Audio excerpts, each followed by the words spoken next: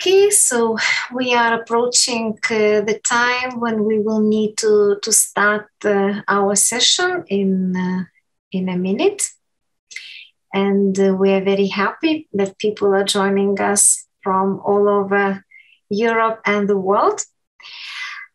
Um, my name is Airina Volungevičienė. I am from Lithuania, from Vytautas Magnus University, and also from Eden Digital Learning Europe Management Board.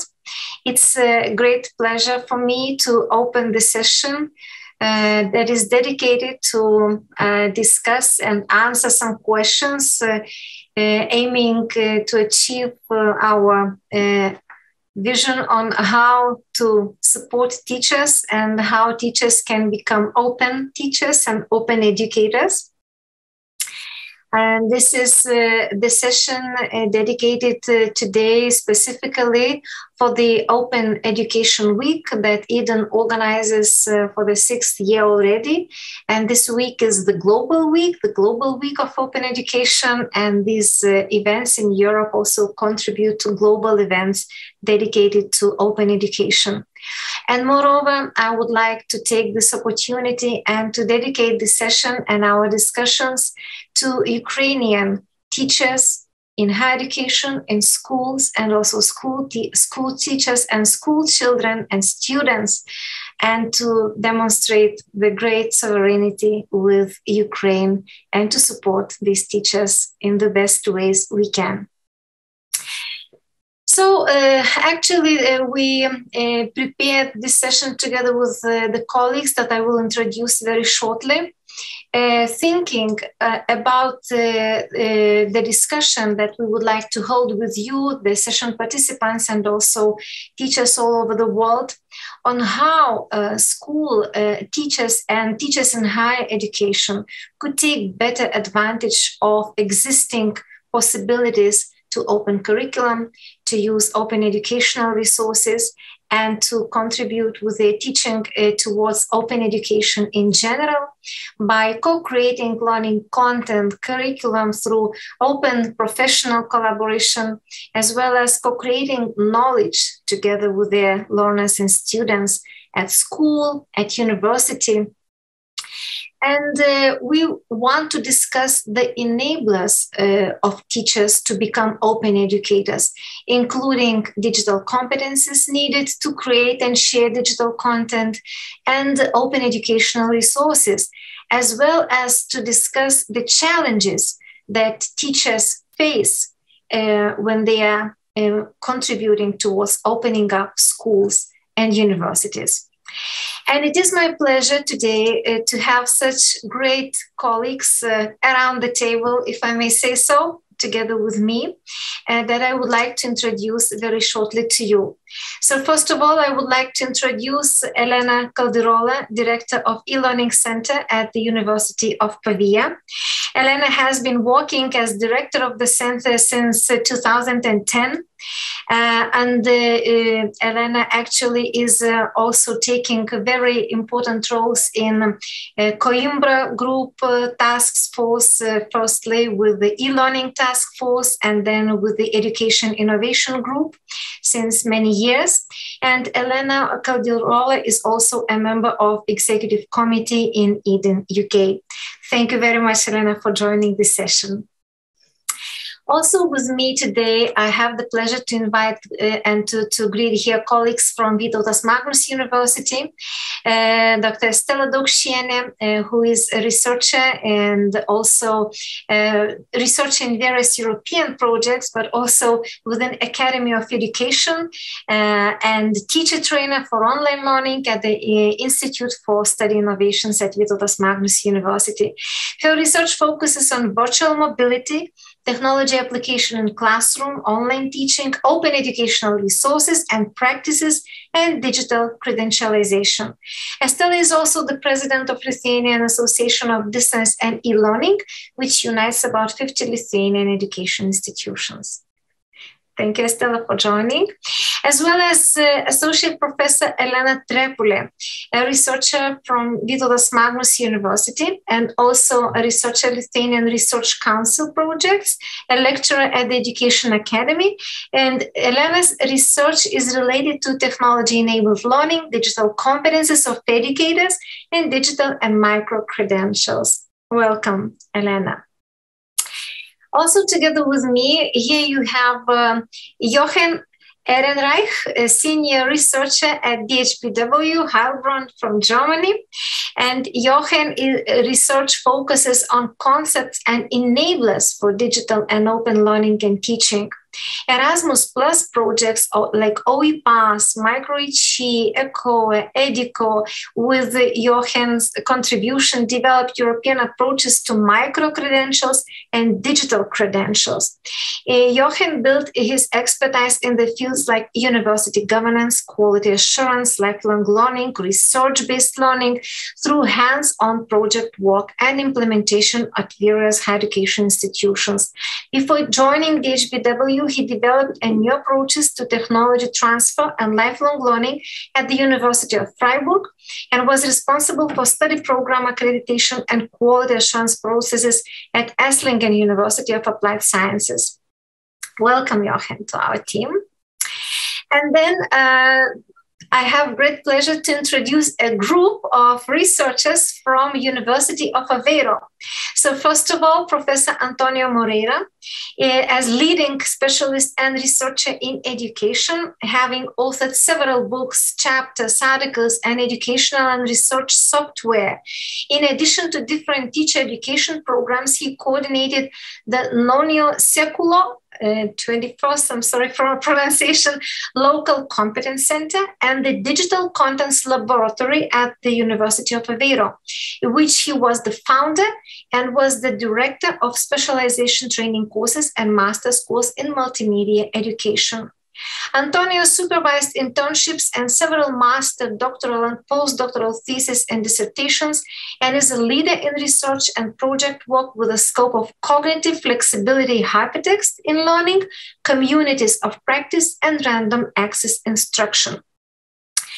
Uh, welcome, Antonio, to the session. And also to your team, uh, that is Ana Balula, who participated as a researcher in several scientific projects. And uh, the main research areas of Ana are e learning, B learning, the use of digital technology in education, e assessment, evaluation, open educational resources, collaborative online international learning, English for specific purposes, foreign language didactics, and intercultural business communication. Ana has also been a member of scientific committees of international congresses and journals and is currently involved in Erasmus Plus and Horizon 2020 projects, focusing on innovative practices and digital competences. She's an active member of Collab, collaborative platform of teaching innovation in higher education, a digital platform whose goal is to establish an interactive and collaborative educational resource center open to teachers, professors in higher education. Welcome, Ana. And uh, the last but not the least, Sandra Vasconcelos, uh, also from sorry, Sandra, for the pronunciation of Portuguese also a researcher from uh, University of Aveiro. And in addition to teaching English for specific purposes, Sandra is a member of e-learning and pedagogical innovation unit of the Polytechnic of Porto and an advisor for distance education at School of Hospitality and Tourism at Polytechnic Institute of Porto, having an active role in the development and implementation of teacher training workshops that promote innovative methodologies and pedagogies. Sandra is in research projects with a scope of tourism education, e-learning, B-learning, English for specific purposes, informal learning, interdisciplinary practices, and the use of digital technology in education. Thank you very much, uh, Sandra, for joining us. And now I introduced uh, all the presenters, and we start our uh, presentations immediately following um, our agenda. And we will have uh, short presentations up to 15 minutes. Then we will uh, invite the presenters to answer the questions from the chat or question and answer session. So please, attendees, be active in, in discussions and posing the questions. And then if we have time at the end of the session, we will come back and rediscuss uh, what is still uh, not answered maybe in the session. So it is my pleasure, first of all, to invite uh, the, uh, Elena Caldirola from University of Pavia with her presentation on resetting education, resetting teaching, challenges and perspectives for an open approach. Please, Elena, the floor is yours. Thank you very much, Irina, and uh, thank you very much to Eden uh, European Digital Learning for this uh, invitation. It's really a pleasure for me uh, to stay here together with you and together with the participant to this webinar. Now I can uh, share my screen. Okay. And in presentation mode. That's perfect. Okay, um, so uh, my presentation is uh, uh challenges and the perspectives for an open approach. So you can see mm, from the first slide that the focus on, of my presentation will not be just uh, or only uh, the teacher, the professor, but the approach. I really think that uh, this is a very uh, important way uh, to see uh, the context because it is, I think it is very, very difficult to be an open teacher in a closed context. So my idea is that an open teacher can be an open teacher in an open context. Okay.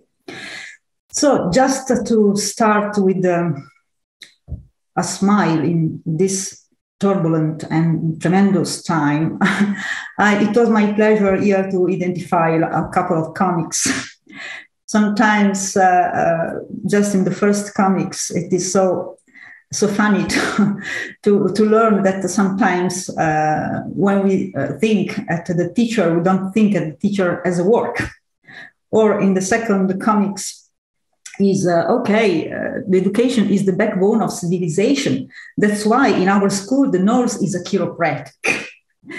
so it is, it is true. Um, in this uh, last time, uh, education, uh, training, uh, and the role of teacher is changing so quickly, so rapidly. And uh, the idea is that now is the time to reset, to rethink, and to um, to put down uh, a system for better undertake the, the best learning and teaching system for the best citizens of the future. Mm. Uh, recently, I had the opportunity to take part uh, in a very, very interesting uh, training week uh, organized by, by the, um, a new European project called eNote, a European Network for Teaching Excellence. Um, it is a project funded by the European Union uh, on Erasmus Strategic Partnership Framework and combined around the partnership uh, that you see below, so University of Leiden, of uh, Coimbra, of uh, Carlo um, of Praga, University of Praga, Carlos V, University of Copenhagen, and the Global Governance Institute. Three main points uh, so interesting about the um, uh, goals of this project. The first one uh, please, uh, I want to remind you my first sentence um, open teacher in an open context. So, this project brings together not only teachers, but university managers, teaching faculty, support staff, PhD supervisors, students, and education experts. So please look at education, at the process of education, look at it as a team of people working about the um, topic of teaching and learning. Second, The project, this project addresses core issues related to teaching excellence in the post-COVID context, including best, practic- best practices in physical, online, and hybrid teaching realms. Of course, all of us know that the COVID uh, was really a, a great uh, and a great and incredible point, new point of view about how to look at the process of education. And the third, and very, very important, eNote seeks to prepare a blueprint for a European certificate of teaching excellence. This project um, has, uh, as, a, uh, as a, how can I say, previous experiences in Europe, two very important European projects, and a report from the University of Coimbra Group.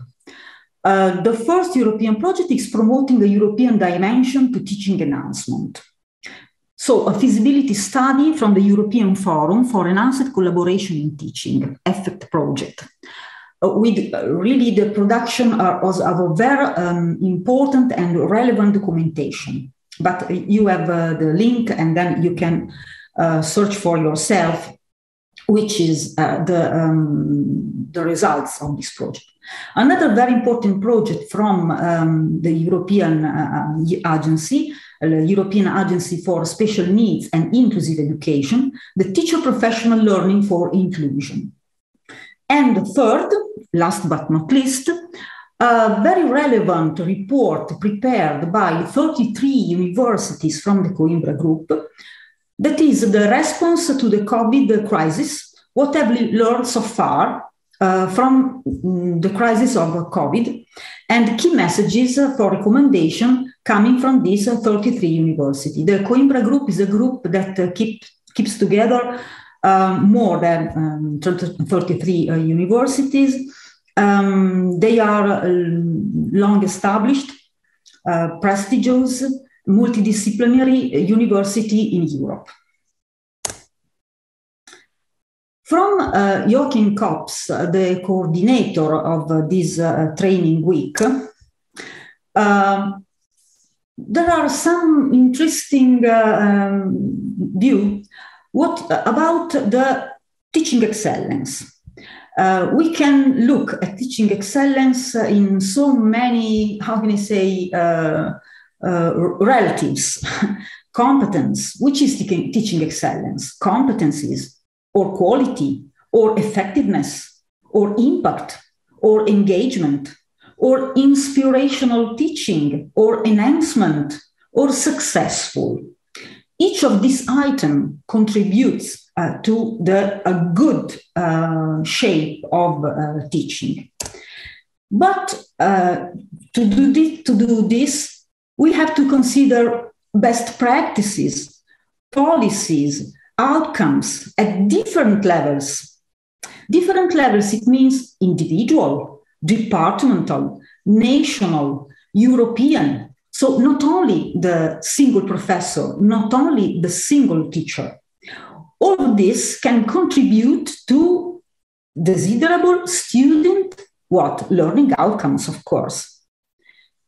So, just to have a very short and uh, simple and easy definition, excellence can be an end state, but more often is an aspirational goal. And such an aspiration every day is changing because it, uh, of course, comes from a peer to peer inspiration and continuous improvement. So, excellence every day is to face with the real time, with the time that we are um, together living uh, in education uh, processes. Um, of course, it includes well-being consideration and inclusion for staff and for students.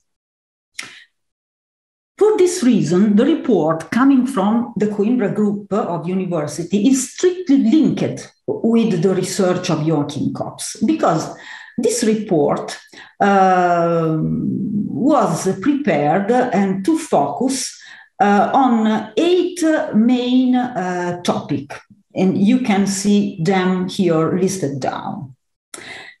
But uh, as a final remarks, uh, the creators of the report uh, noticed that there are horizontal issues across the, the eight dimension uh, under study. And the horizontal issues are here uh, evidence, post, um, put, put in evidence. The main horizontal issues are these four. Um, we have to focus our attention on the professional development of the teacher, the well being of the institution, uh, sorry, the professional de- development not only of the teachers, but of the uh, entire components of the academic communities. So, staff, uh, governance, students, all the people that together uh, give the contribution for academic community.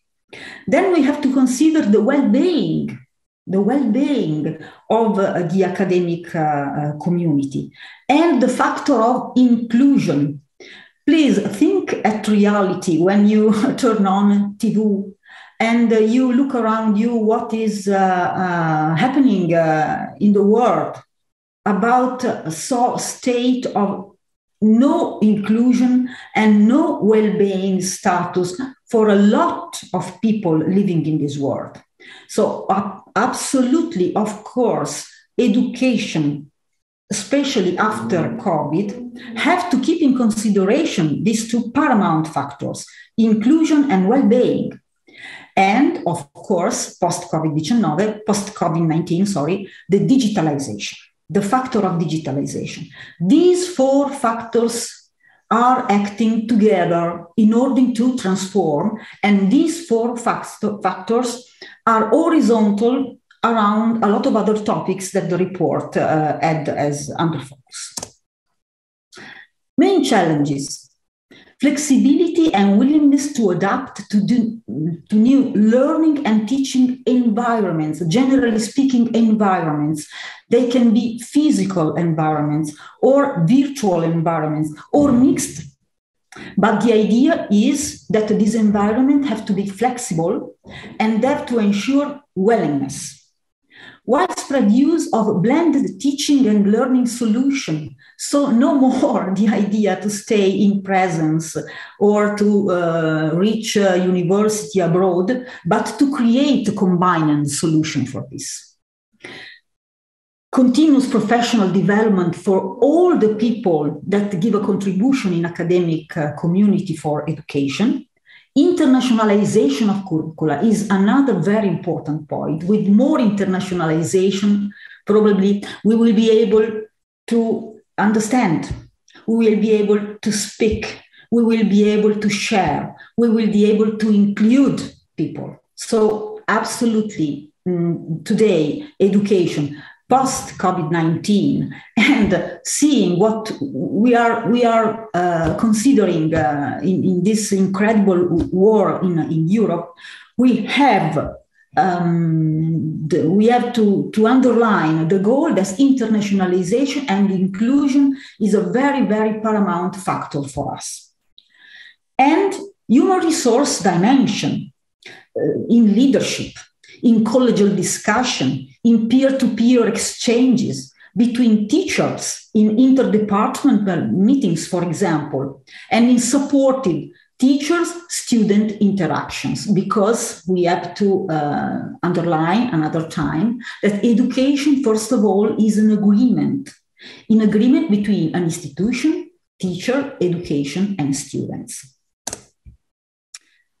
So uh, the idea in my mind and in the, in the, minds of the organization of that week is that uh, we have to consider an open staff, an open institution approach. Only an open staff, an, an open institution can create an approach to the open teacher.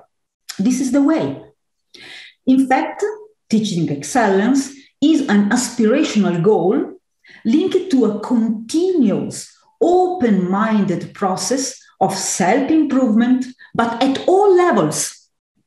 If this is not the case, the overload will be on the shoulder of individual instructor. And this is not correct because this is not a matter of uh, uh, one man show. This is a matter of an effort of an entire institution and not only institution, but, but uh, an effort from state and an effort from Europe because we have expectations in this as a community, as a civil community. And second, the strive for teaching excellence need to be supported at all levels. Why? To adapt to changing needs, changing needs of a community, of a civil community, changing needs of students and core stakeholder, because the world is changing and is changing very, very quickly. So, moving forward, and uh, this is the, the, the second um, European project that I mentioned, promoting a European dimension to teaching uh, enhancement, the EFFECT project. How to realize this? Because, okay, words, words, words, words, but we have to find some tools, we have to find some instruments, we have to find a roadmap in order to um, eff effectively um, put on the table uh, these, these reforms. So uh, the idea is to create, and this project tried to do it, an institutional strategies support package. Uh, you can uh, have an idea in uh, have a look to this uh, to this project, and you will find ten principles this 10 principle focused from the project um, put the focus put the focus on which, what what is nowadays the meaning of education at higher uh, education level. What, what is the meaning? Which are the goals? Why we should um, think at the importance of education, teaching, and training? Why? So uh, this project, the creator of the responsible of this project was able to create, to write down 10 principles. With these 10 principle, there are for each principle uh, some guiding questions. The idea is this is the principle, these are the questions, and the idea is how your institution is able to uh, give um, give um, the, the proper uh, activity to this principle. Is your institution on the way to? So the idea is a sort of exercise in which people from the governance, teachers, students can answer to these guiding questions and write down a roadmap in order to be able to achieve them maybe uh, after my presentation, if there will be time, we can see uh, together the 10 principle. But for these 15 minutes, I would like to limit my presentation to the main, uh, um, to the main uh, uh, goals of the presentation. If there will be time, we will look at them together. So we can, in a certain way, to write down a sort of to-do list in four points in order to promote and foster this new meaning of education in Europe. The first two funding are required. And not only for teachers, but for the development and continuation of more sustainable, systematic institutional approach institutional approach because it is very very difficult to be an open teacher in a closed institution you can imagine because this only uh, means that uh, the single teacher have a lot of workload on his shoulder and for example in italy uh, to fight against uh, uh, rules of the ministry hmm? so uh, we need a systematic institutional approach for learning and teaching, allowing the higher education institution to develop structures and policies for innovation enhancement. Two, collaboration at European levels, but not only at, at European levels. For example, create peer-to-peer group, create European project, create, like the Enote project, an idea of a European certification.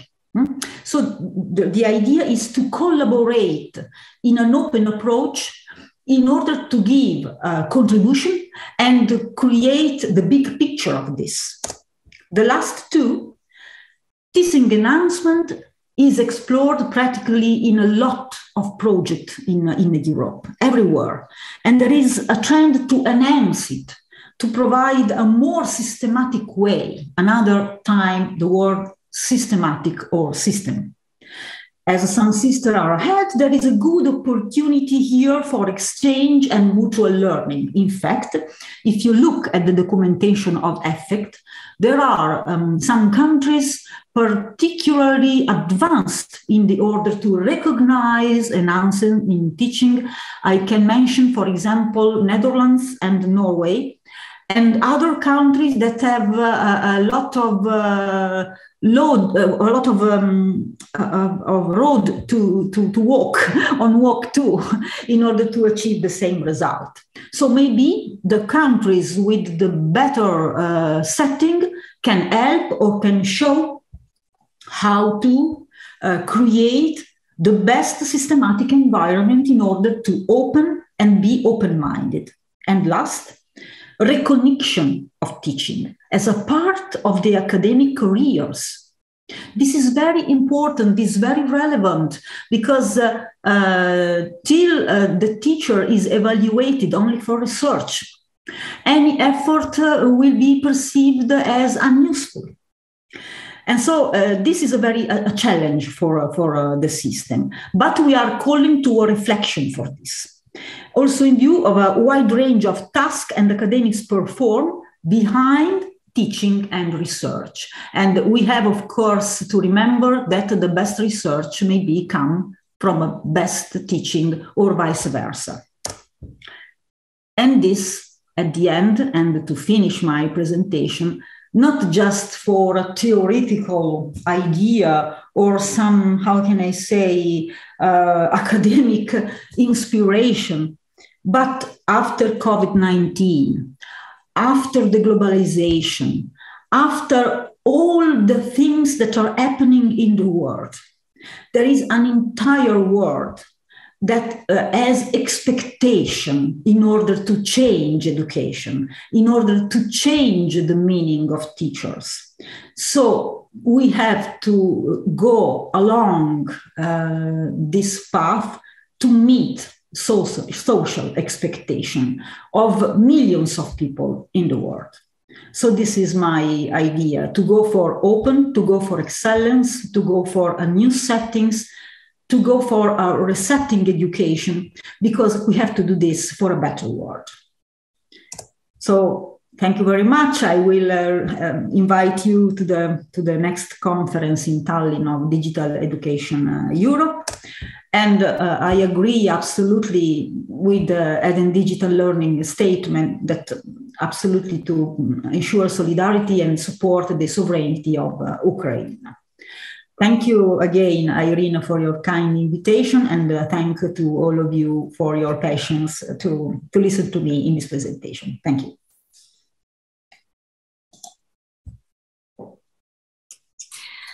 Thank you very much, Elena. That was really a very impressive uh, opening, I would say, presentation with really very wide uh, uh, scope of considerations. Um, I don't see questions so far in the chat, and I encourage people to, to pose their maybe reflections, comments, or questions. But uh, and and I see congratulations uh, from the chat to you. Uh, so thank you very much. Uh, may I ask a short uh, maybe question to you that raised my interest? Uh, it, it is regarding. Um, the needs from the students you mentioned that actually, of course, we understand that uh, the needs of the students are. Um, become priority for, for teachers and institutions in terms of opening up, uh, um, did you maybe you have some reflections on the discussions in Coimbra group or in the project that you mentioned? You mentioned several dimensions, including uh, environment, uh, including uh, enhancement and collaboration and recognition. Which of these dimensions were more relevant for students? Which of these dimensions were reflected in the students' needs? I think them uh, listen to them uh, in in uh, that very interesting uh, um, training week was the idea uh, to yes to stay together in peace. Uh, there was there were a lot of students coming from the University of Leiden or Copenhagen, but staying there, coming from all over the world. And the idea is to create a map of inclusion so, uh, how we can study together and share the same environment and learning together with a teacher that con- is considering us as uh, in, in an inclusive way.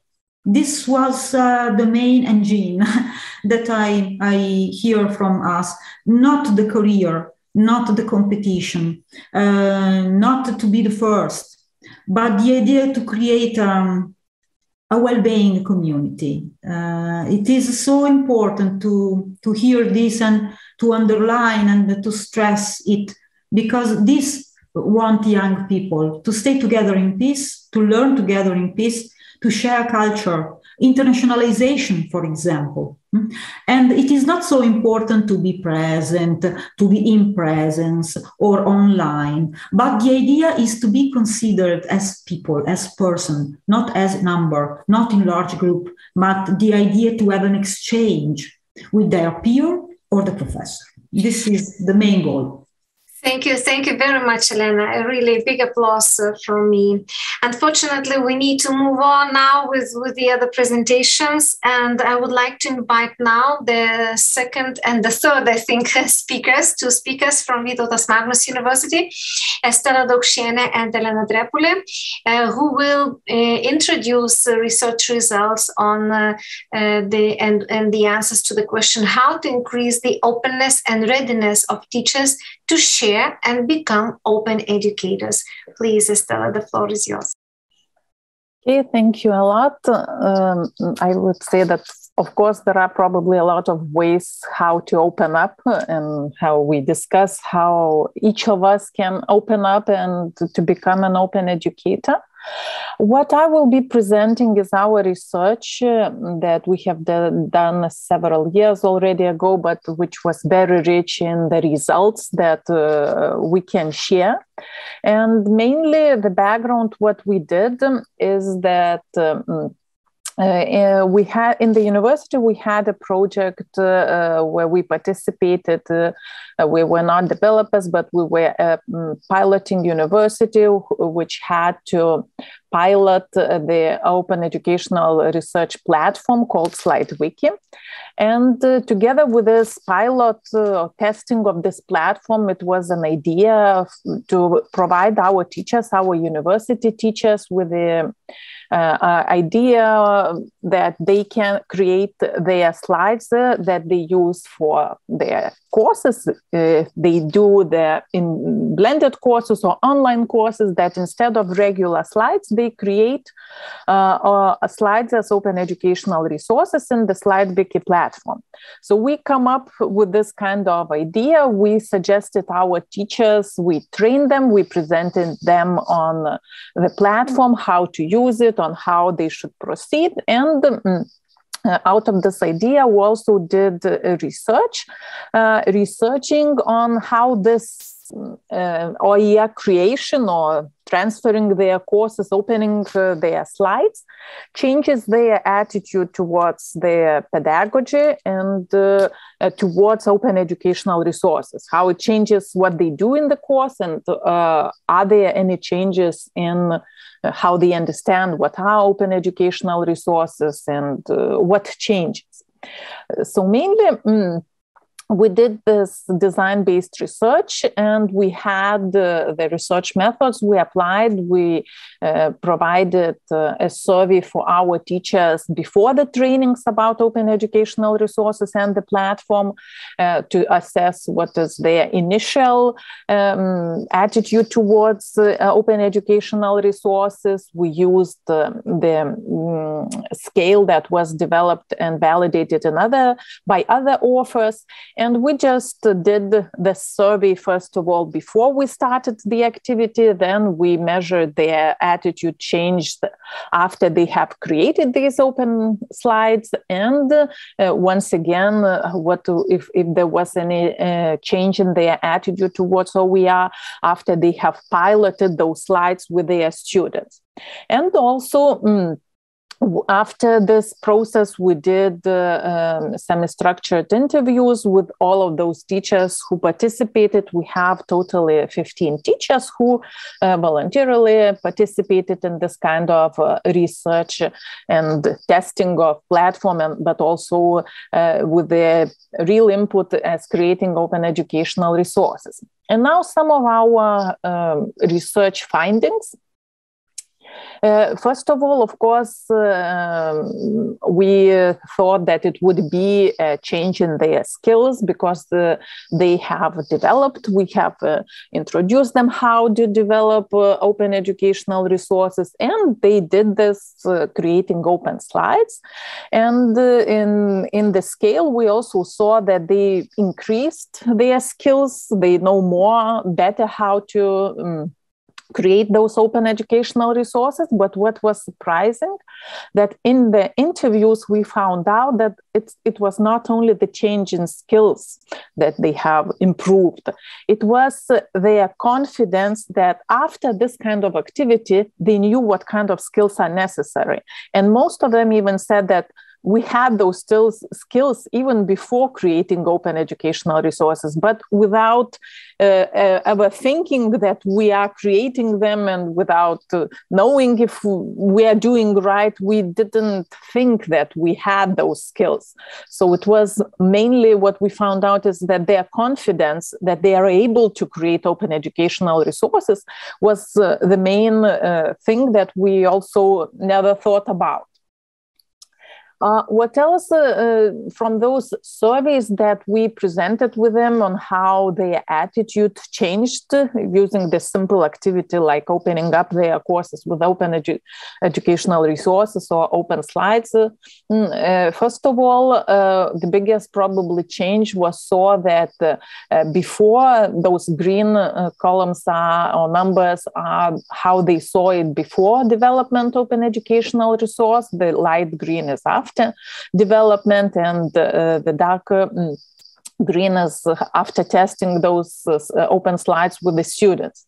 So the biggest change probably was that uh, even after this kind of simple activity, they saw that OER, open educational resources, fulfill uh, the needs of their students. Okay, they this kind of idea that never come probably never come up for them before, and also they saw it as a their responsibility to create those resources. They saw that they increased the population, but the other maybe um, findings we saw this attitude changed the it was increased in all the lines uh, what we uh, researched on but mainly uh, they saw it as um, uh, opening up and making uh, seeing uh, making more available also contributed uh, think that oer contribute to their organizational reputation and promote collaboration.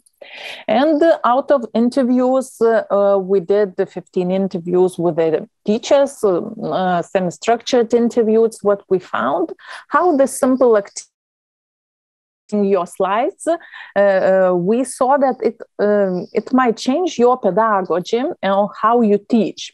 Uh, first change what teachers um, draw attention to was that, of course, um, revising their slides, it had an impact on their curriculum creation process. And this led to, to most of the teachers, or half of the teachers, even uh, reviewing assignments. They even uh, um, thought or changed their assignments in um, thinking about that students can also create open educational resources. Okay so the, and they also saw that this led to more student student interaction and the possibility in the platform they could provide comments and they could provide uh, they could redo the slides uh, this is the, the tool provided them. So uh, they saw that students were also checking those slides, they were commenting on them, they were um, engaged in these kind of activities that you usually don't see in just regular slides. But as they were uh, accessible openly and students could connect and could connect uh, and could comment or add on their ideas, they saw that students were more engaged in this kind of uh, activity that came from open um, slides. Also, what teachers mentioned, what was required from them to do, uh, first of all, when they had to um, um, the idea was that uh, we let them choose what kind of slides they want to make as open educational resources. So the first thing that they indicated, it required the revision of course topics because not maybe not all course topics can be made as open educational resources. It required the revision of the whole course topics. It required also uh, presenting the idea for the students what are open educational resources and embedding this as one of the course topics. Because if you want them to do something with open educational resources they have to understand what it is. So um, even though that teachers only changed their slides to open open slides uh, this led to to changing a lot of other things in the course and also, uh, what teachers mentioned a lot that it required revision of the slides content because if you want to um, so it was like kind of inventory of what kind of slides and what kind of learning materials you have prepared and which of them can be made open.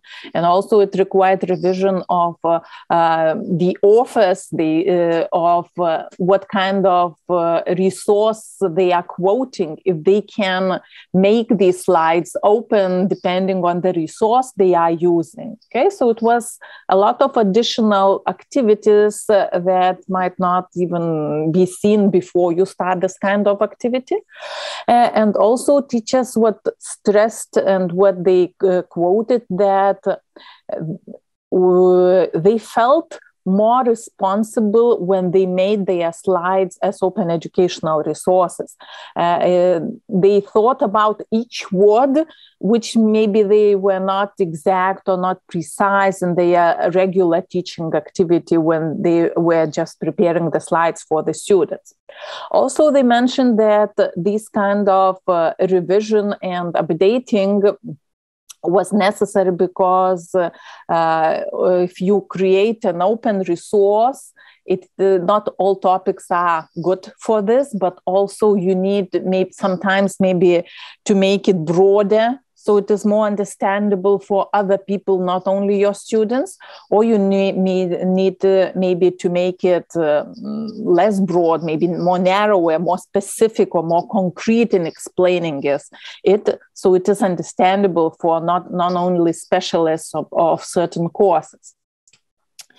And uh, uh, what else it can be uh, those yes responsibility from teachers the accurate citations the revisions of topics the revisions of uh, uh, selected resources and uh, to checking if you can really make it public or sometimes even you have to choose another uh, resource if it is uh, it can be used uh, you know in some closed platforms but if you want to make it public maybe it doesn't allow this kind of activity.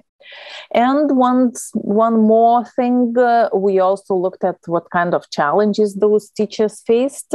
So, uh, in this opening up, uh, of course, uh, may, or most of the teachers said they had to overcome this openness barrier because in the beginning they were, you know, stressed and not sure if they are doing the right things. And uh, uh sometimes even uh, some teachers even said that they didn't thought that they had this kind of barrier.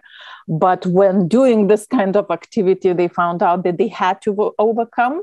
So, in general, they were happy with this opportunity okay, to overcome this barrier. But they also saw that this opening up uh, was a barrier for the students as well, as there were still some students who could not overcome and who could who would still ask if they could do just regular slides, not the open slides, not to make them public. Uh, um, so it it was uh, a challenge that was overcome by most of the teachers, but not by all of the students.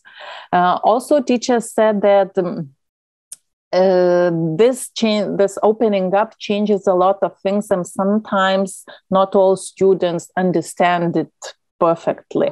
Uh, even with the activity when students created open educational resources uh, not all teachers were sure that their students understood what it means and understood what kind of challenges uh, uh, you meet when you create your work openly. So uh, it means that it depends on uh, students in the field, probably of the student study. And one more thing that we found out, and which was also um, a challenge for the teachers, it was the platform is- itself. Uh, just to making up a conclusion, I would say that a user friendly platform to create open educational resources or um, platform that is user friendly to share those resources are really necessary as uh, the issues and challenges teachers face they were a lot related to the platform uh, which was still piloted, which was st- still not fi- finalized. And um, it was annoying for the teachers. And uh, they even mentioned that this might lead that I won't u- be using it in the future. But if it is really a good platform, I, uh, if it, uh, the, the bugs are fixed, I would use it in the future. So a tool, it means a lot. It is very uh, important so that the tool is user friendly because it will help teachers to disseminate and to open up. So briefly, these are the results that we found found in our research and that we wanted to share with you. Thank you. Thank you very much, Estela, and also for the timekeeping uh, very well. But that's maybe why you have already a couple of questions from the audience. So the first question is Did the teachers mention the change of their workload being bigger when going open, for example? How did you uh, or how did they solve that problem if this was noticeable? Uh, well, they did not mention the bigger workload. They mentioned that the, the, responsibility in preparing the slides was bigger, but they had already like prepared slides before. And you, as a teacher, usually uh, prepare for each lesson. Okay, so this was like an additional work to prepare for the course, but we took it during the summer so they could do these kind of slides during the summer. So they they were not focusing on some like additional work to create uh, uh, slides as uh, open educational resource. They more mentioned that the needs of the skills that they thought that they were not able, but that then they found out they more that they can, and and how what kind of impact it, it, it had, but not the workload itself. The other two questions, uh, I think, relate with the collaboration. Uh, and uh, uh did you notice any um, solutions here uh, regarding collaboration of teachers uh, to, to, to, to co-create such open educational resources? Mm, it's a difficult. Uh, maybe Elena wants to answer. uh, maybe. Thank you, Stella, for your explicit uh, presentation of the results. Uh, uh, regarding the cooperation of teachers and co-creation of of the resources, uh, particularly in that platform, uh, teachers were creating their own slides, each uh, presenting uh, uh, their own resources. But um, I think it was the exercise of practicing openness um, in, in creating materials what was very beneficial to teachers.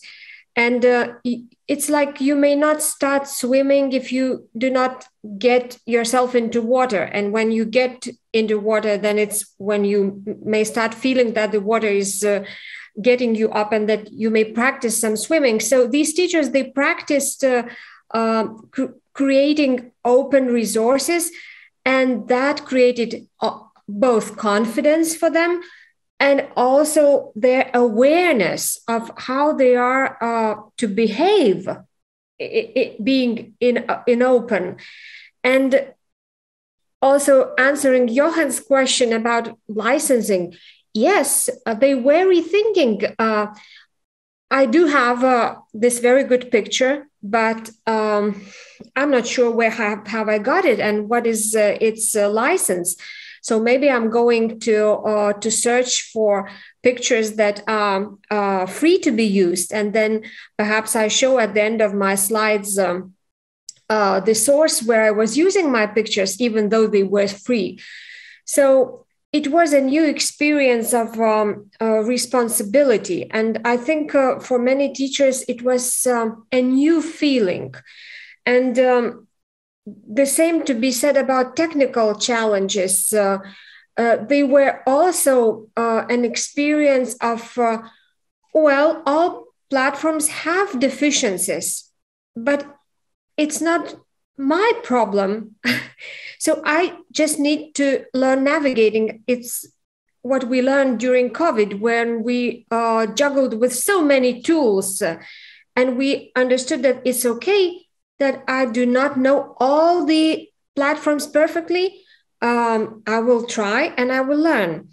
And um, uh, this is also uh, increasing your openness in, uh, in co creation of uh, resources. Uh, for example, in Moodle, uh, in our university, we have many courses that are being shared by several teachers.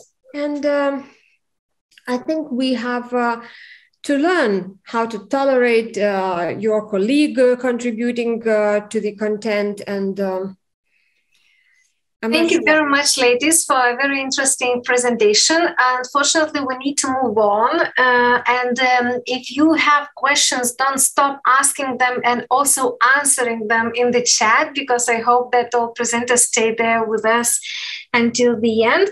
Now I invite um, uh, Jochen uh, with the with the next uh, presentation.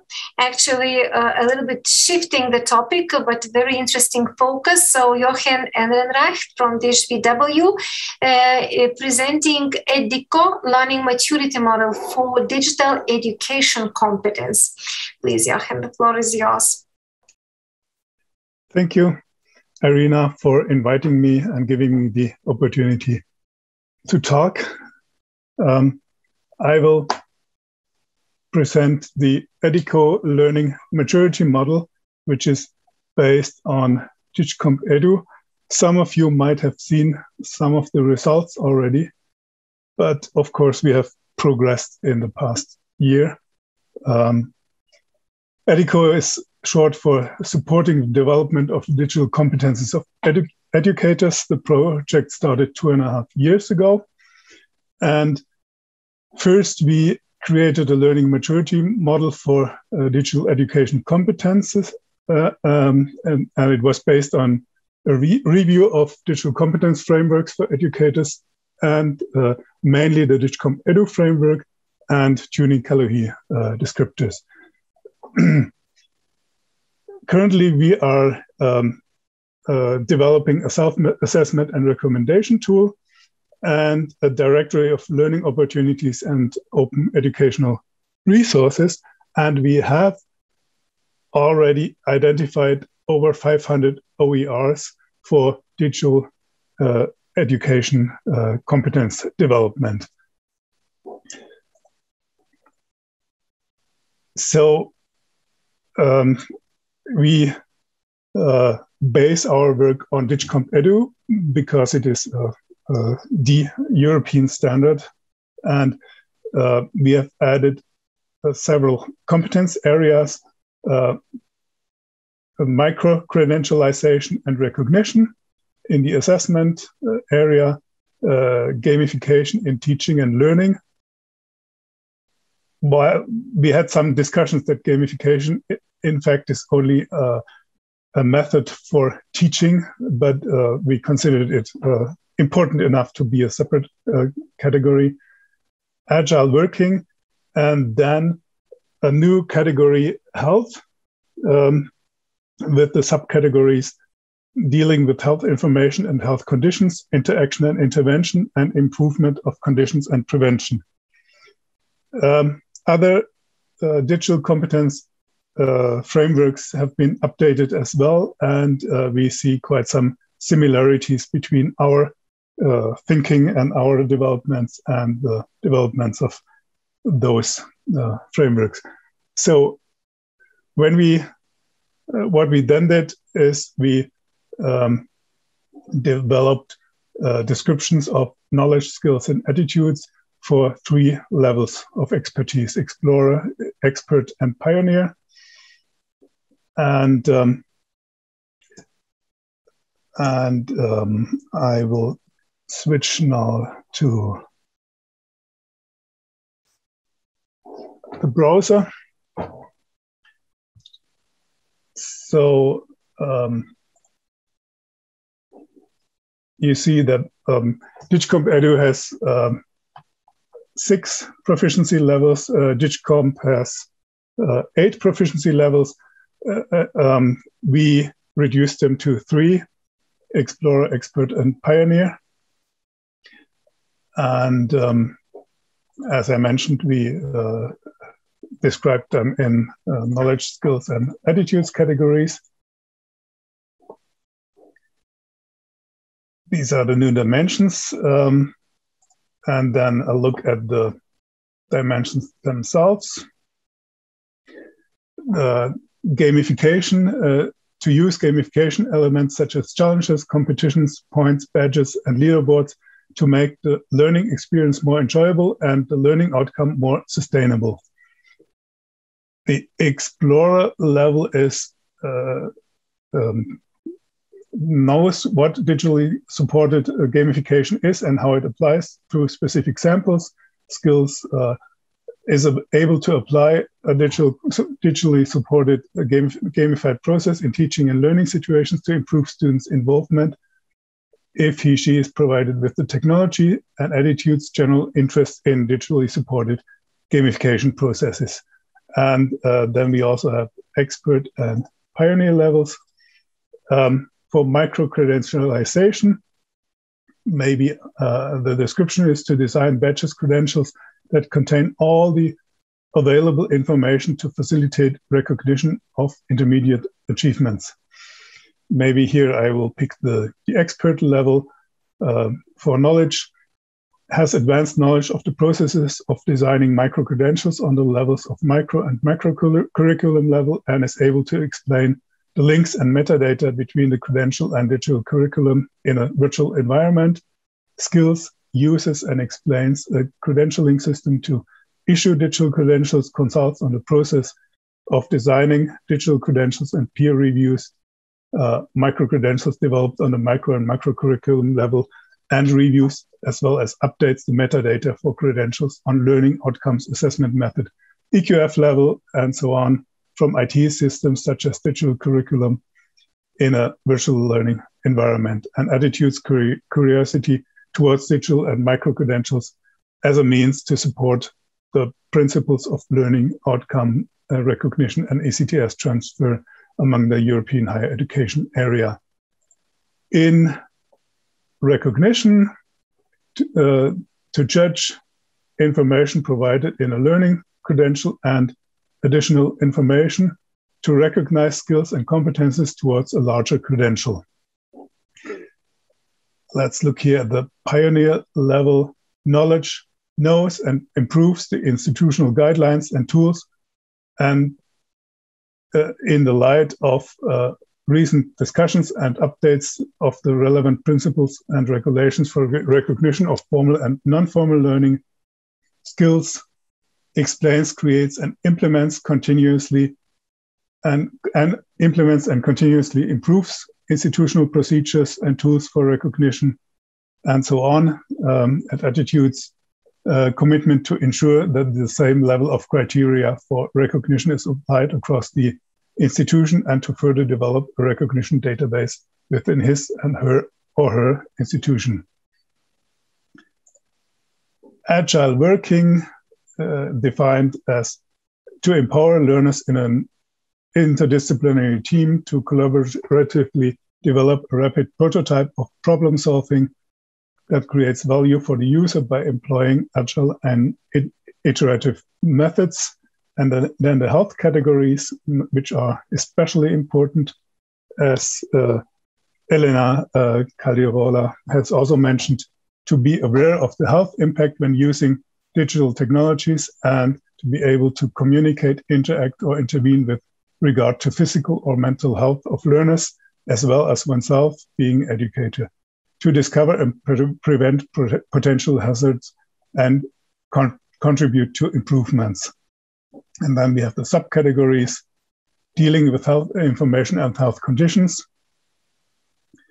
to be aware of the health impact and to be able to explore health related information, to monitor own and learner situation and apply evaluated information for framing meaning, meaningful use of digital technologies in learning processes.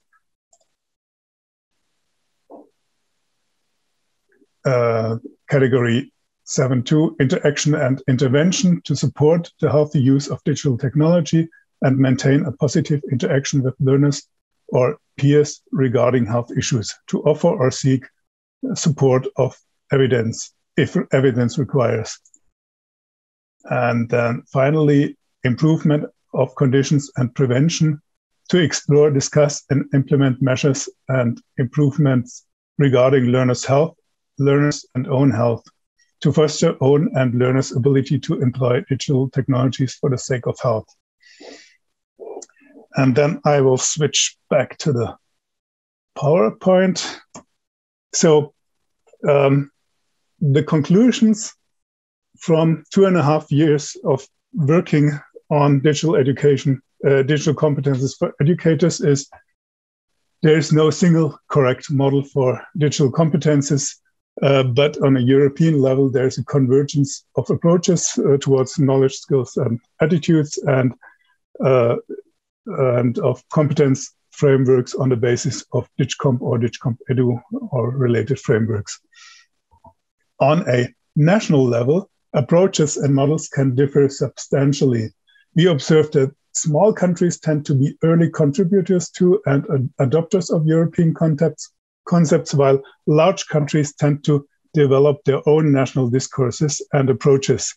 Um, this is sometimes a bit frustrating for me in Germany um, that uh, we have a very uh, strong German language uh, discourse uh, that is sometimes decoupled from European developments.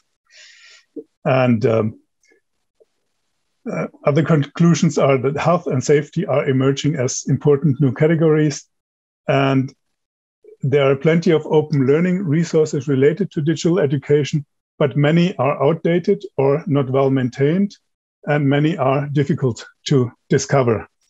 Uh, so maybe it is more sustainable to publish an open access book or a PDF than a an open course that will not be maintained uh, in two years' time. So um, these are the learnings that we had from um, our uh, work so far. So the questions? Thank you, Jochen. I was following, and actually, it was me who was posting the questions uh, to the chat. Uh, so, still looking forward uh, to to to replies if any you you really introduced a very interesting approach that smaller countries usually uh, really adopt uh, European concepts while large, larger ones uh, establish national models and try to have their own um, models for that. Um, I, I don't see questions right now in the chat, uh, but it would be really interesting what the audience think about new proposals for competence areas uh, and uh, and let's see. Um, my my question to you, Jochen, would be. Uh, how uh, would you see the uh, digital competence areas uh, in terms of the um, best potential for opening up? I think what Estela was presenting might do with the with the resources, digital resource competence area. Uh, but um, uh, teaching and learning was not touched upon. And uh, you introduced also interesting areas that were introduced in EDICO. Uh, do you what kind of potential do you see here for, for the opening up? Maybe resources for teacher training or um, or something else? Are there any challenges related with the opening of these resources?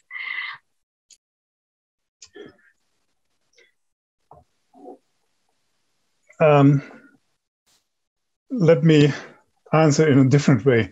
Um, so I see that we we come from a higher education perspective, and um, we we um, and and the teacher training is often at different institutions. So um, a challenge is that um, those activities, uh, so continuous professional development for teachers in schools and uh, for higher education educators um, have very little contact points, but they could benefit a lot from uh, from uh, exchanging their approaches and ideas. And and um, maybe this would be one of the areas where uh, the new European Digital Education Hub could uh, be active uh, in fostering dialogue between competence development for higher education teaching and competence development for school teaching um, and uh, bringing those cultures and, uh, and uh, concepts together. Thank you, Jochen. I hope so. I really hope so. It's a nice initiative, and I hopefully will find the link there between the two levels of education. Thank you very much. Uh, you received warmest uh, uh, regards from Romania. Uh, thank you for, for these regards. Um, and now we have to move on. And uh, I invite uh, then the team from University of Aveiro to share with us um, how University of Aveiro is enhancing and supporting teacher collaboration. The title of the presentation is Collaboration for open teaching, the case of the Collab platform at the University of Aveiro. So please, colleagues, uh, the floor is yours. Thank you very much, Airina. I'll just try to share my PowerPoint with you. Hopefully you're already seeing it and I'll try by, I'll try to start by introducing the team. Well, uh, or our presentation. Antonio will kick things off, and afterwards I will mm. jump in and Sandra at the end. So, Antonio. Okay. Um, well, good morning, everybody, and uh, uh, thank you for uh, inviting us to this event. Um, well, as uh, Airina uh, unveiled, we are uh, going to share with you on the topic of collaboration for open teaching, uh, the case of the Collab platform at University of Aveiro. Um, this presentation uh, is uh, is going to be done by myself and and with and by Ana and Sandra Vasconcelos. So uh, when you, you think in how to become an open teacher, uh, the quest is that uh, one's got to be flexible enough and be open-minded enough so as to uh, accept co-planning and co-teaching as one of the aspects that um, is important to keep in mind. Uh, this in, in, its turn uh, brings uh, a boost to academic rigor and increased understanding of students' outcomes. Uh, as at the same time, it allows you to increase creativity in lesson planning and classroom management, and therefore reduce teacher isolation through communities of practice. Uh, these are important elements that I now give the floor to Ana so that she can continue.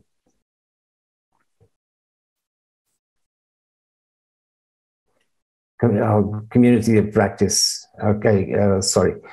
Uh, community of practice is uh, uh usually regarded as a group of uh, practitioners of whatever uh, here we are thinking in terms of teachers who share a common concern, a set of problems, or an interest.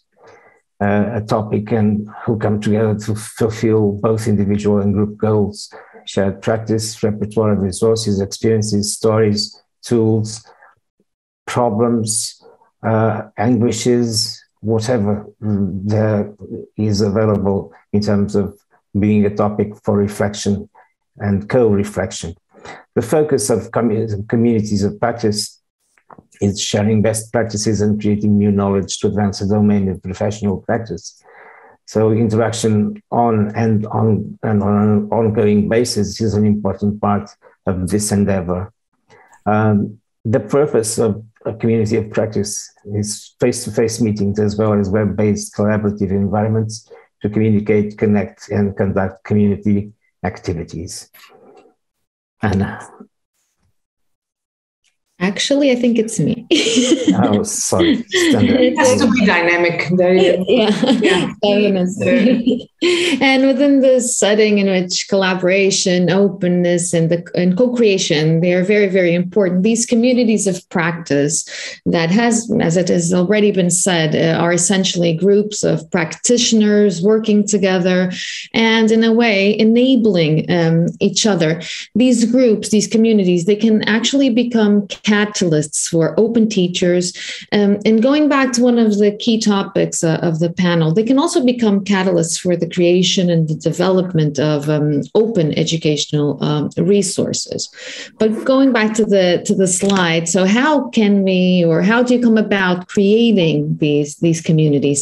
There are different uh, guides and guidelines that outline the, the core principles of communities of practice, all of which underline the importance of fostering a community environment, promoting collaboration, um, and having an open platform which will be able to endure over time and be sustained by the different uh, members. So these communities have a life cycle, a lifespan with different stages different steps that on the one hand they can help the community grow and open up but also sustain it over time because this sustainability and this endurance is uh, also very or are also very important so the first two steps um, in creating and fostering the, these communities of practice um, will be uh, to inquire and to design the actual community um, as you'll have to find common ground, establish a common vision that can motivate and keep the community together. Okay, this will help define activities, decide what technologies you, you are going to use, and also clarify the different roles within the community. You will have to decide how you are going to communicate, who are you bringing into the community, who your partners will be, and eventually you will be ready to test or prototype the this this community. Um, so in terms of prototyping or piloting, what you what is usually done is that you check the waters. You check and confirm that the community is in fact viable. Uh, you prove the design. You use pilot audiences, preliminary uh, tests, um, pilot events, uh, and this will help refine the community, build a stronger identity, um, strengthen the, the, the structure, and which uh, this will ultimately evolve and result in the launch and the growth of the community, which are the two following um, following stages. So your community will will reach a wider audience with new people joining in, uh, spreading the word, generating this sort of um, organic uh, uh, engagement, gaining momentum always bearing in mind the concept of openness, co creation, active participation. Different people will be working uh, together, focusing on shared goals, uh, having shared interests. And as the community grows, it will eventually level uh, level off and hopefully be able to sustain itself by continuously drawing on its on its members um, and reflecting about its uh, own role and what it wants to achieve. So this will require critical mass and hopefully it will continue to evolve. And that being said, we now have an example or uh, a platform that can actually help create and uh, develop uh, communities of practice. Thank you, Sandra. Well, actually, I have to start by uh, thanking Irene as well for the invitation. And in particular, because um, from what I heard until now, this, our last presentation, somehow brings together several ideas that um, uh, the panelists stressed. And uh, uh it shows that we really um, are uh, going on the same path. So, starting with the project that we have here at um, Aveiro, I will try to show you. This is the, the project's um, initial website.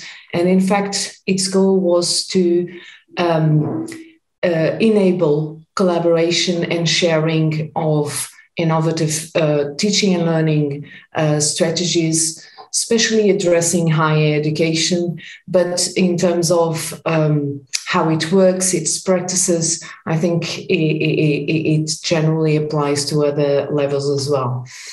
So it, within this project, uh, uh, uh, um, a platform was developed, and this um, platform that is now available, it was just launched a few weeks ago. So we are still in that step four kind of uh, moment.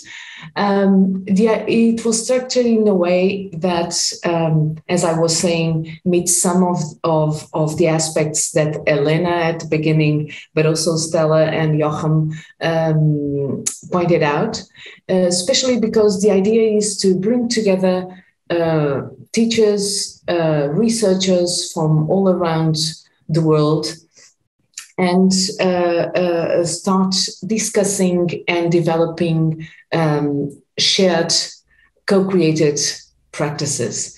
So um, the platform is structured in, in three different levels. So we do have hubs that are at the macro level um, where we define the topics after uh, uh, having some kind of survey or making or making sure that people are really interested in the topic.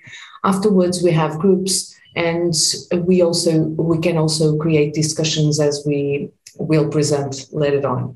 So the idea is to ultimately share um, uh, not only information but also our uh, competences in the creation of something new. So um, I think I still have some time and going to one of the hubs, for instance, this one is moderated by me. That's why I feel so comfortable presenting it. Um, it really connects with what Elena mentioned as to the internationalization of the curriculum. This is one of the key aspects that we are considering now at the university, and collaborative online international learning is a way to develop it. So, how did we create this hub? First of all, we we we went through step one, two, and three.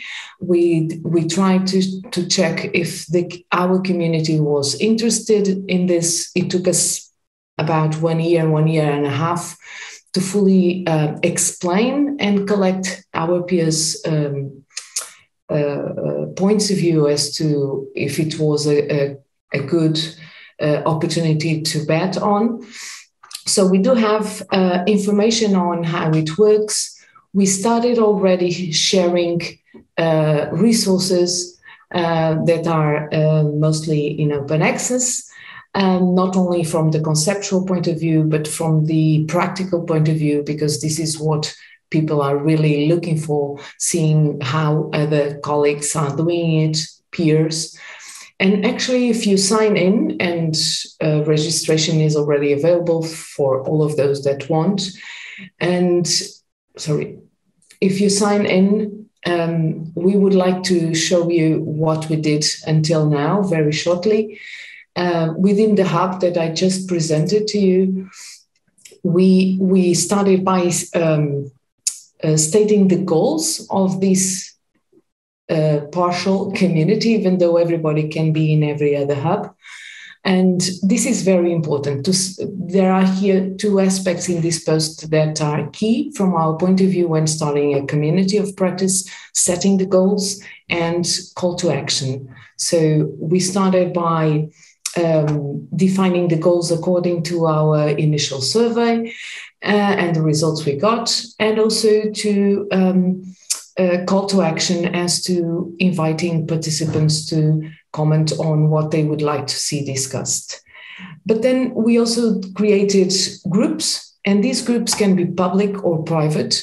Just to give you an idea, we created a private group um, uh, Aveiro team for COIL, where, well, I, I, am so sorry, it is in Portuguese, exactly because it could be in Lithuanian or any other language.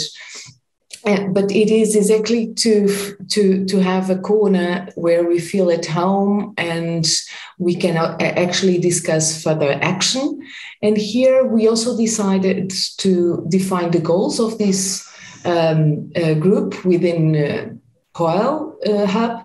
And here we, we have uh, an opportunity to see we, what our peers are interested in and to actually think of matching possibilities.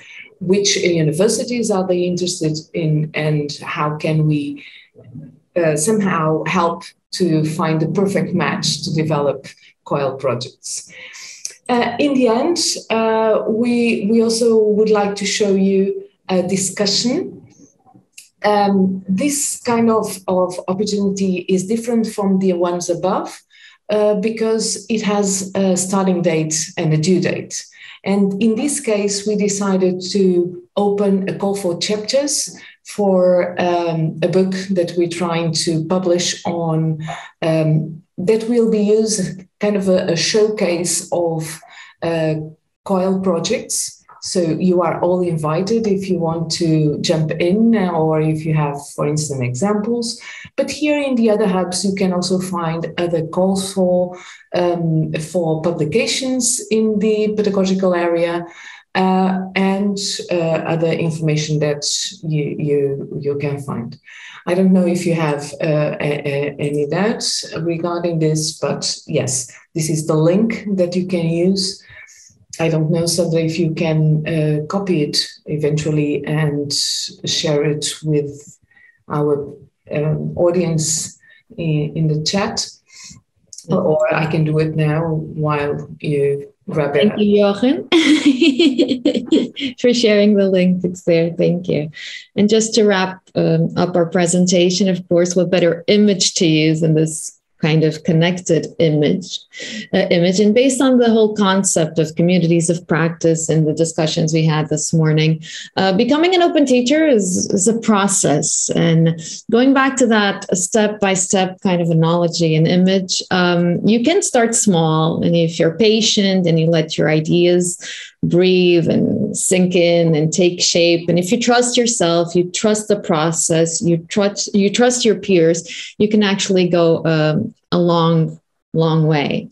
And just to reinforce this idea of collectiveness and of community so first of all we would like to reinforce the invitation to take part in the EDEN's uh, Open Week. I think the invitation is in the in the next uh, slide, the official invitation, because I mean this idea of community. We can go further together. That's one of the the messages we would like to stress. And finally, also uh, just to finish things up, just to express again our solidarity with everyone in the in Ukraine at the moment. So we have the save the date here for the conference.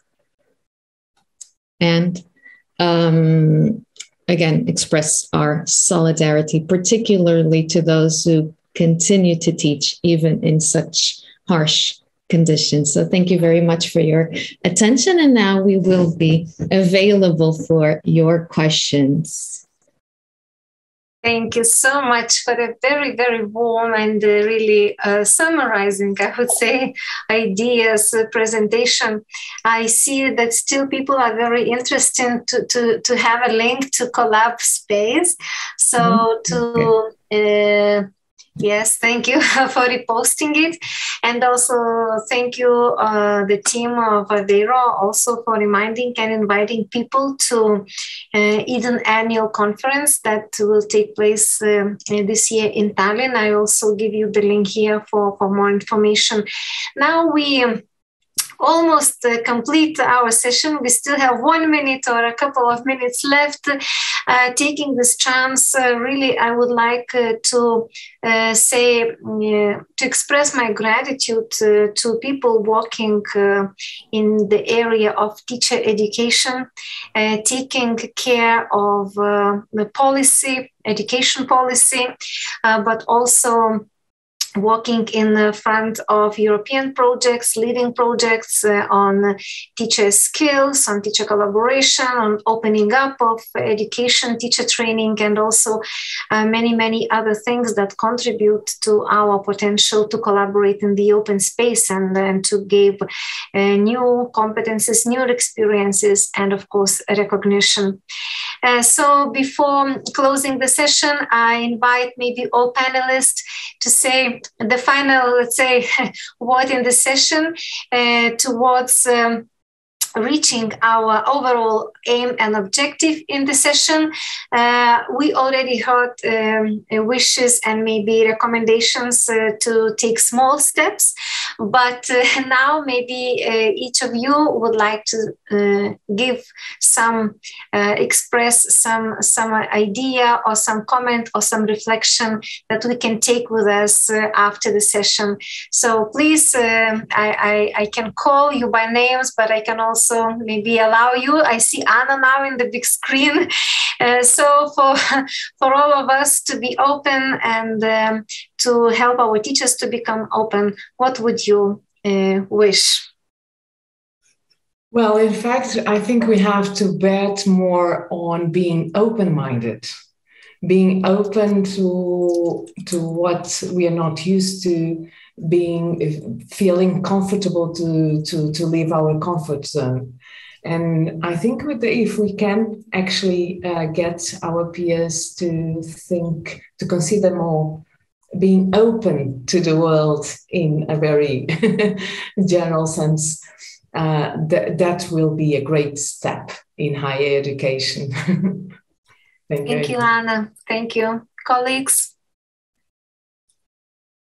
uh, I think that uh, we have to be uh, united in be open-minded. So I can take the good uh, uh, words from Ana Balula, and I, I like her. I think that open-minded is uh, the correct movement. open-minded and be united. we can now show to the world how Europe can do a lot of things if united. Um, it is not just uh, a matter of one person or a sector, or but be united all together to be open-minded. Uh, just in this way, maybe we can give our contribution for a better world. Thank you very much, Elena. Yes, Colleagues. I'll just maybe say one sentence that I would just encourage everyone. It's never uh, too late to open up, and there are a lot of ways how to do it. So let's start with ourselves, and of course, we will see results soon. Thank you. And uh, seconding to Estela, it's uh, it's about practicing.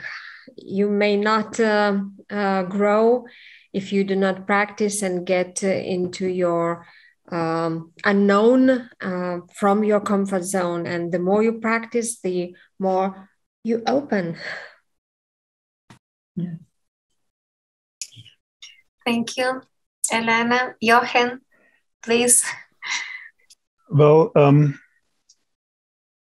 I believe that um, educators who have not yet adopted open practices um, have good reasons to do so. Uh, so uh, one is the copyright issue of the uh, resources that they're using, uh, for which there might be um, licensing agreements on national level, but if they make it avail- available openly, then uh, on the on the wider uh, net, then um, they don't have the license. And also, another issue is the confidence of their own uh, teaching that they then make uh, available uh, uh, and visible where where they know their own slides their own uh, concepts still have room for improvement. And uh, then they um, um, it takes a lot of courage courage to be an open educator. Yeah. Yeah. Thank you, Jochen.